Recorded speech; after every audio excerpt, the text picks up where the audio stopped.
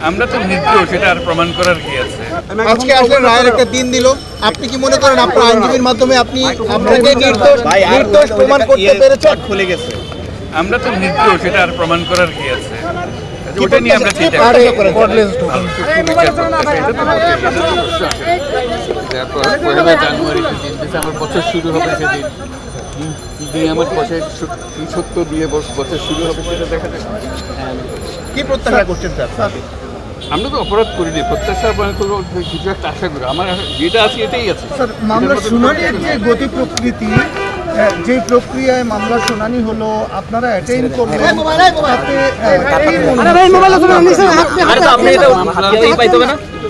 Mobile কোনোদিন আসেনি। জানি না এটার প্রতি প্রকৃতি। কাজে এটা একটা অভিজ্ঞতা সৃষ্টি হচ্ছে।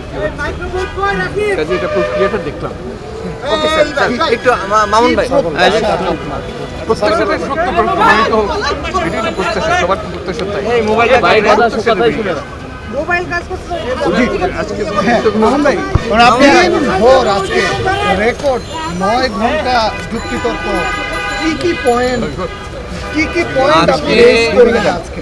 আজকে আমরা বিজ্ঞ আদালতকে বিজ্ঞ আদালতকে আমরা ধন্যবাদ জানাই।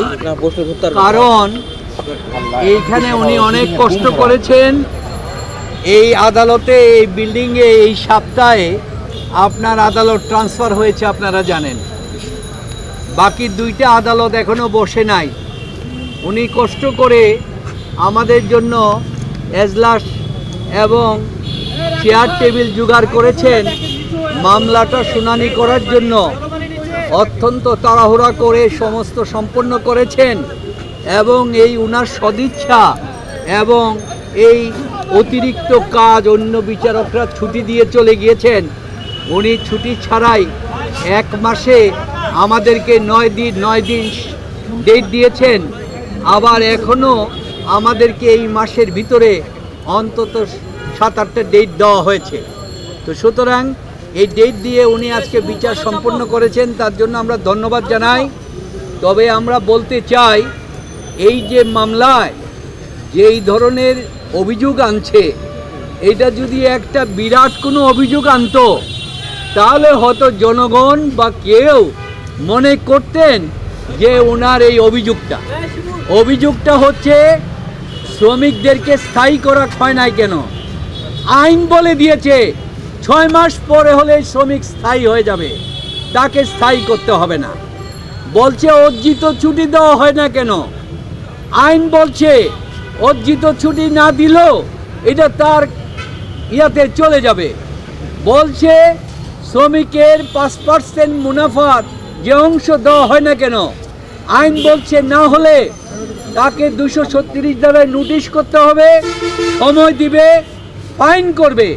তারপরে পাবলিক ডিমান্ড রিকভারি একটি আদায় হবে। তারপরে আদালতে মামলা করবে। ওই মামলার আদেশ না মানলে ক্রিমিনাল অপরাধ হবে। কিন্তু অত্যন্ত সৌভাগ্যের ব্যাপার, ওই প্রসেস পালন করা লাগে নাই। না পালন করেই ক্রিমিনাল অপরাধ হয়ে গেল। আর এই অপরাধের জন্য আপনাদের সামনে আজকে আছেন এই দেশের সবচেয়ে বিজ্ঞজন এবং আপনাদের এই সমাজের জন্য যিনি কাজ করেছেন, সারা পৃথিবীতে যিনি গ্রহণীয় পূজনীয় আজকে তার বিচার হচ্ছে। আমরা প্রত্যাশা করি আমরা কোর্টে দাঁড়িয়েও বলেছি যে পার্ল- এই যে লেবার আইনটা যেটা করেছে এই আইনের কোনো ধারা সংশোধন করার ক্ষমতা সুপ্রিম কোর্টেরও নাই একমাত্র পার্লামেন্ট। সুতরাং আইনের ধারা অনুযায়ী বিধান অনুযায়ী এবং আইন যদি তার নিজস্ব গতিতে থাকে তাহলে আমরা নেবিচার পাবো। পৃথিবীর কোনো শক্তি নাই সেখানে নেবিচার থেকে আমাদের বঞ্চিত করে। প্রধান ইন্সপেক্টর সাহেব মামলা দায়ের করবেন অথবা তার থেকে দায়িত্বপ্রাপ্ত বিনা দায়িত্বপ্রাপ্ত হয়ে মামলা দায়ের করেছেন কারণ আদালতের নোটিশে এটা কোর্টের রেকর্ডে থাকতে হবে দায়িত্ব পায় নাই। তা ক্ষমতা না পেয়ে মামলা দায়ের করেছেন। তারপরে বাদী মারা যাওয়ার পরে আপনার দেড় বছর পরে মামলা চলল। নিয়ম হচ্ছে এই মামলায় পিটিশন মামলায় যদি বাদী অনুপস্থিত থাকে আসামিকে দুইশো সাতচল্লিশ দ্বারায় খালাস দিতে হবে।